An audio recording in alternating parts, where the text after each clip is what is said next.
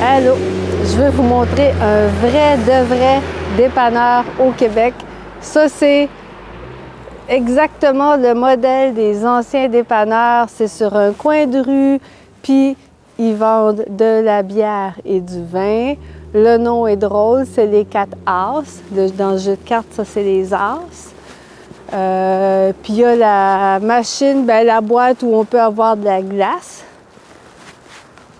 La glace, qu'on n'appelle pas des glaçons au Canada, c'est de la glace. Bon, il est marqué ice, mais en tout cas. Puis il y a toutes les petites choses normales qu'on vend dans les dépanneurs, des chips, du chocolat, du lait, du pain, interdit de fumer et de vapoter près de l'entrée. Ils vendent maintenant des sandwichs, biscuits et crème, des sandwichs à crème glacée. Wow!